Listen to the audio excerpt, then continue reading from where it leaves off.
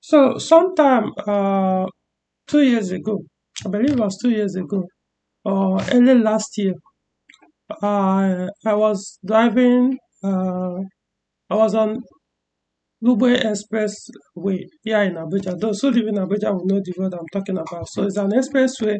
So I was driving uh, towards uh, airport, um, Abuja International Airport.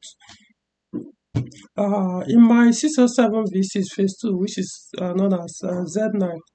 So uh, I was kind of having fun, you know, uh, but not necessarily like speeding like hell. Like. I wasn't like in my usual fun drive. So um, I got close to uh, this vehicle, not this color anyway, but uh, I think that one was blue, blue color. You know, I basically was just overtaking cars. So uh, I was getting close to this car to overtake, you know. So it appears he also uh, the driver also wanted to overtake another vehicle. So I had to wait behind him because that was the only space. Other cars were on the other. It was is it three lanes or four lanes? So the other lanes were occupied. Other cars were driving slowly. So the only speed lane, the it was only the speed lanes that uh, you had there was space.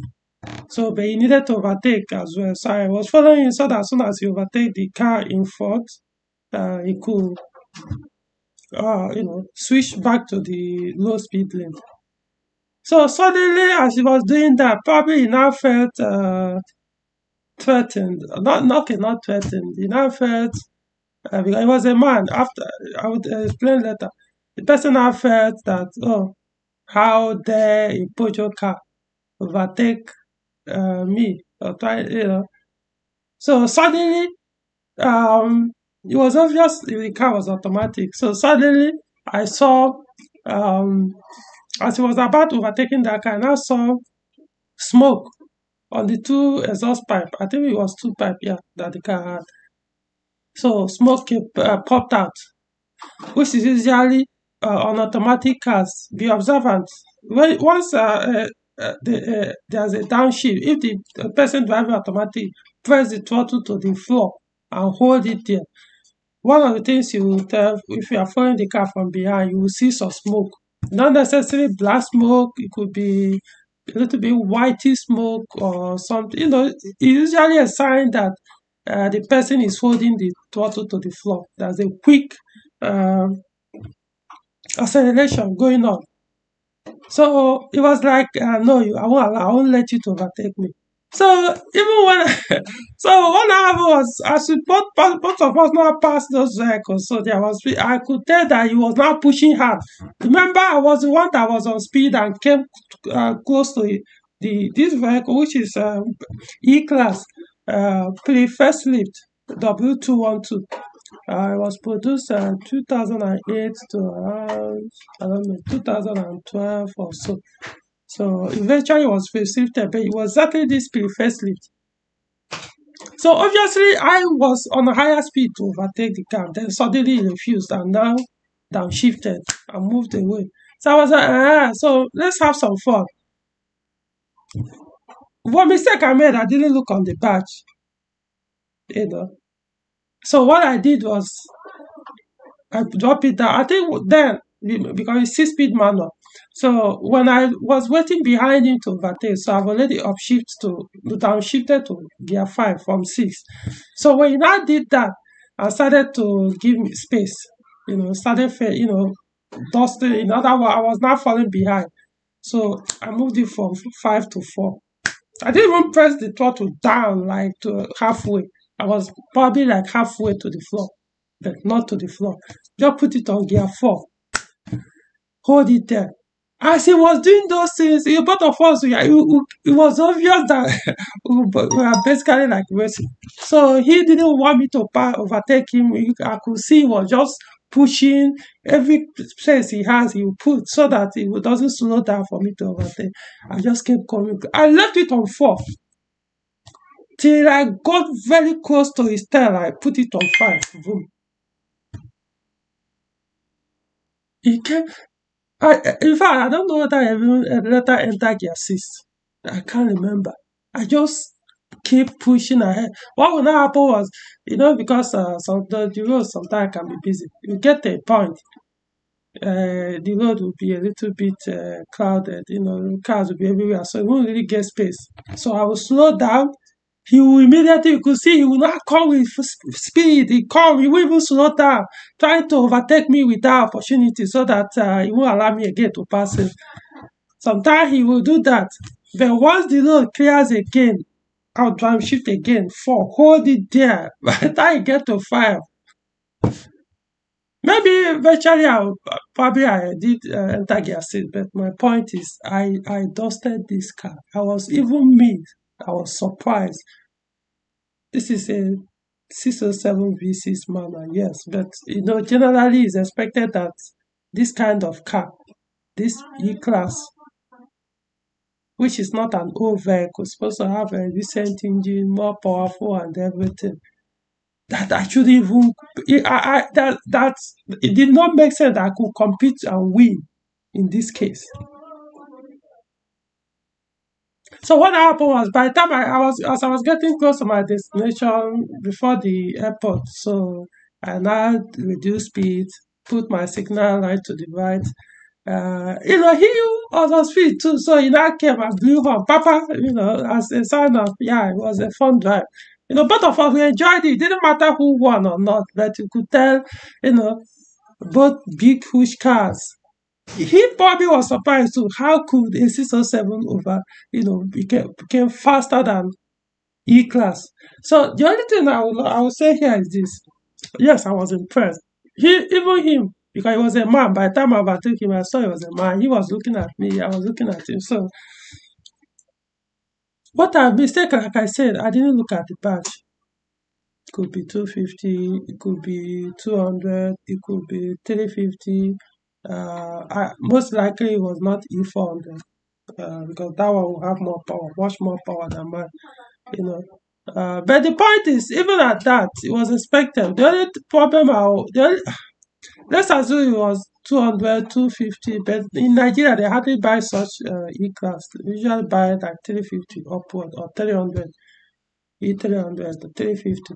So if it was those uh, four cylinders, because that's where I would say um, I will I won't advise anybody to buy because uh, those four cylinder ones they were all they all turbocharged. Uh, uh, I think between 180 horsepower to 200 and uh, is it 205 or 208 horsepower? Those four cylinders turbocharged. Come on, look at how huge this car is. I mean, let me show you guys another picture. The both the front. So this is uh, this uh, exactly what the tail looks like. So this is the front end. I mean, this is a car, you know. Um, so I don't know what do they expect. Uh, funny thing, one of the engines is one point eight. You know, that one has like one eighty or thereabout horsepower. How do you expect? But I wouldn't know. Like I said, since the mistake I my for my own part did not look at the patch. Maybe there was no because, like I said, it wasn't like I was out to to to race with the car or something. I just wanted to overtake and keep going. I wasn't interested in the car until I could, you now wanted me to to okay, guy, I'm ready for you. Let's let's trash it up, You know. So uh no, uh see this turbocharged thing. If you are turbocharging a V6, okay, it makes sense. Turbocharging a V8 makes sense. Then if you are turbocharging a four cylinder, maybe 2.0, 2.2, 2.4, depending on the size of the car. But something like this, I mean, it makes no sense. So maybe it was a turbocharged engine, those four cylinder engines, so that's why uh, mine. Or maybe it was E300 or 350. Just I, I couldn't, or could be because mine was a manual. So that was, I mean, you see, when it comes to 60, that's see my observation. When it comes to five speed manual, you see gear five, gear three, is the sweetest. That's where you get the power. That's it. it will push you hard before four and five is just to keep moving. But this one that the sweet spot of manual transmission on a five speed manual is gear three. Then for the six speed is gear four. Just go and test it. I own these two gearboxes, five speed, six speed. So I'm telling you, you know, I've tested all. So um, uh, maybe mine was because uh, it, that that was the day I knew that this engine, even though Pojo say it was uh, 211 horsepower, I don't know. Maybe it's actually 211 horsepower, but the way it moved that day, because it was like I intentionally I was like, let's see this guy. I know you are a Benz, let's trash it out. As in, I gapped this car, as in not gapped, as in gave him distance. I had not that I faded completely, but man, as in he couldn't. He was doing everything. He couldn't get close to me. As in like two poles aside, you know, apart from each other. It, honestly, it's good to have a powerful engine. Uh, you know, some say it's very uh, irresponsible to do all those kind of things. Trust me, are sometimes you'll be like, to hell with the fuel, let cars on fire. I mean, these are these two cars are able cars. Yeah, performance, the suspensions are geared for performance. The steering wheel are geared for performance. So the idea of uh, accident, you know, people shout all those things. Go and find a better car. For you understand? Not say accident cannot happen even on this one, but I'm saying most times give a good drive by car. You to enjoy yourself and uh, okay. So um, so because of that, I kind of also you know, appreciate it because this car, I like it. You know, the look makes sense. Front and the rear end. The first model is there, but you know, kind of like this one as well. But one of the reasons why I like this is because it has a coupe version. You know, it does. Let me show you. You see, that's one of the problem I have with uh, Anyway, I'll do a separate video of that. It has a coupe. You know, E-class. That's a coupe. Uh, you might say the look might not make sense. I think for the coupe, the the the facilitated model front, the front end looks better than the uh, pre-facelift. So this is the rear view of the coupe. You know, unfortunately, no manual. Even if they, uh, no, I don't think they have manual on the coupe uh, the four cylinder, the only manual, no, for the saloon, the only manual you get on the saloon is the four cylinder, the turbocharged ones that produce, uh, is it 180 horsepower? Come on, even, even though, even if you put seven speed manual there, you won't really enjoy it that much. I'm just considering the, look at how huge, I didn't even check the weight of the car, but come on, this is a big car. So, um, those uh, 200, even 200 horsepower cell won't make more sense on a car like this. You need something close to 300 or over 300. Like those E400 uh, should be close to 330 horsepower or so. Actually, V6 engine, not even V8, E400. Uh, the I don't know whether they have turbocharged or I don't know.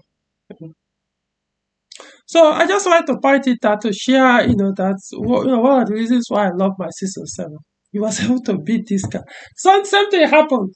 Uh, there was a video I did. I don't know if you guys want. That day I traveled. The last trip I did with my, or last journey I did with my 607 when I traveled to Kaduna. I came back. I did a video of that. I went to inspect a 505. Um, on my way back, uh, so when I got to Jere, so I took that uh, Jere uh, Buhari Axis. So um, I didn't know that that road has been tarred. As you can close your eye and drive. I mean, you can see any crazy speed. I'm talking about if you want to do 300 kilometers per hour on that road, just carry on. On the going, the road was not that, it was a little bit rough, but coming back, I didn't know until I entered it. And so, but of course, we passed through the town, then there's a get to the express. So there was this um so I was driving on the rough part of the road while I was in town. There was this uh, uh, Toyota Highlander V6. That's their last production. So I think he has uh, either 3.0 or 3.3 liter V6 engine because it was clearly written behind it V6. So he came with force, boom. of course, it was um, what's it called? Uh, an SUV. So didn't care about the rough road. So I I slowed that. In fact, I was even at S class before me. S class, Mercedes uh, S class before me. So uh, that one didn't even care about speed at all. So even though me too, I reduced speed until both of us drove out of the rough road. Then I now cut down, shift and boom. I left the S class before. But I, like I said, the S class, I don't think he was even interested in driving, you know, having fun on that road. Then I just kept pushing. Before, I, I like I said, I've been forgetting about the Highlander until and I, as I was getting close, getting close, and I saw the guy was pushing. I could tell was pushing. One thing about six speed, all you need is just a shift.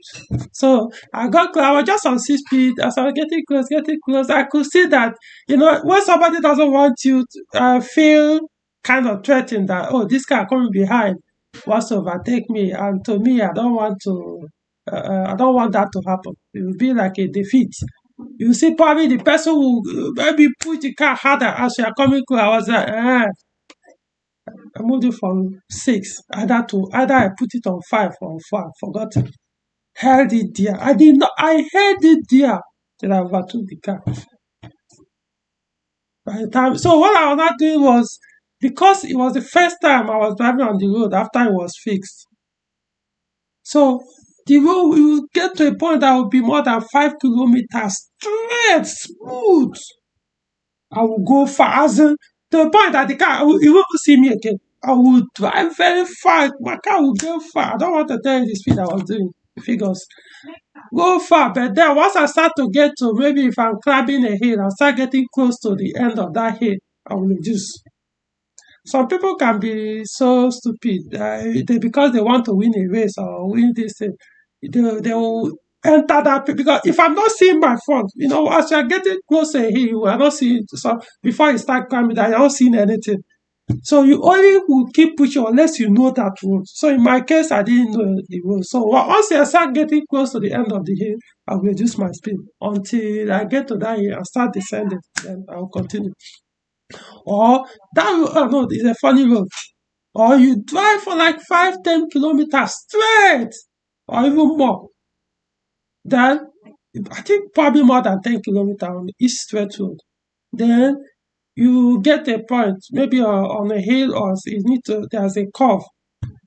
You know, so I'm not, I don't know what is on the other side. So I will reduce my speed drastically to the point that the gear I will even drop down up to gear three.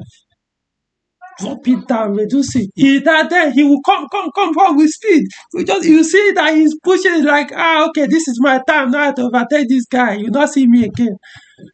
By the time you get very close, almost close to my rear bumper, I'll press it a little bit hard again. Up shit. That's all.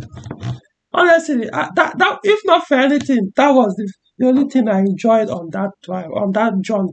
As in, I came back, I was looking at this 607, I was like, man, this car is a monster. As in, you need to see how I was pushing.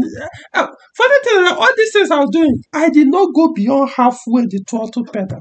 I didn't. Yeah, this car, you see how you see the speedometer, I just going going there with the sound, the engine sound. Man. Honestly, that Toyota Highlander, the guy probably may, may start to wonder if that car was worth it, whether to go and sell the car because I embarrassed him. It was obvious that he was like, how dare you? I'm Toyota, you, uh, uh, what do you call them? Uh, unreliable Pojo. Uh, let me show you that I have a bigger engine. Probably his own was 3.3. But mine was even 2.9. of course, own was automatic know. So, anyway, back to the E-Class. So, um, so it has a, uh, in case you're interested, for me, um, it makes sense. The coupe makes sense, actually. If Let's assume I want to buy, uh, I think it's the coupe I'll go for. But the saloon kind of looks more handsome. I don't know. That's how I see it. Looks more handsome. I, I don't, especially for face. Maybe I, I can't remember. I can't really tell. It's just that I haven't been paying attention to the coupe version. So maybe next time I'll be looking out for it. Uh, but you know, saloon is more common. Uh, the estate, not really here in Nigeria. It's mostly saloon that you see. Uh, so uh, saloon makes more sense. But uh, like I said, I'm done with salon cars. Unless maybe vintage car, but modern car now, no, I'm done. So the coupe makes sense. Uh, so